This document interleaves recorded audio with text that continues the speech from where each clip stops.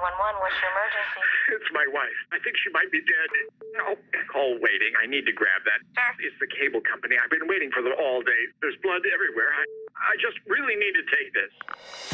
I was waiting for the cable guy to show. I came back inside and I found Margaret dead. We'll get into all that before you testify on the stand. Icing on the cake, cable guy never showed. Or maybe you won't take the stand.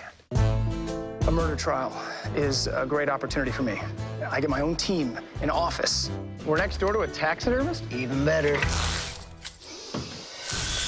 We're gonna keep that closed. The victim was killed by going through a plate glass window. What could have happened based on the evidence? Fire away. Suicide! That was my first thought, too, but I tested the theory.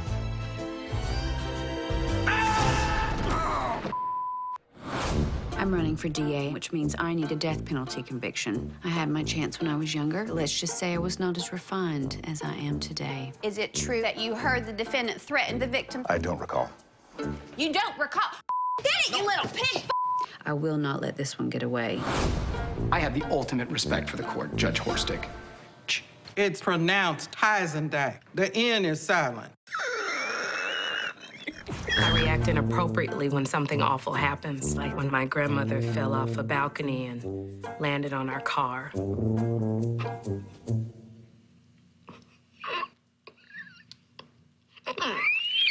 What are these stripes on the floor around the outline of Margaret's body?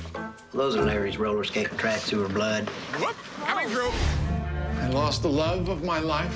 There are subtle reminders of Margaret everywhere. That's our defense. Larry Henderson is a devoted husband and father. He loved his wife. There's no motive. There has been a twist in the murder investigation. We recovered these photos taken from a surveillance camera in the gym. Sexuality is fluid, and sometimes my fluids go towards men.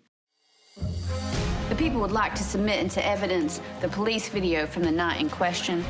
Forgive the mess. Margaret is usually the one who cleans up, and oh, it's embarrassing. Uh, yeah, watch the legs. Trial and Error, a whole new kind of murder mystery. Premieres Tuesday, March 7th after The Voice on NBC.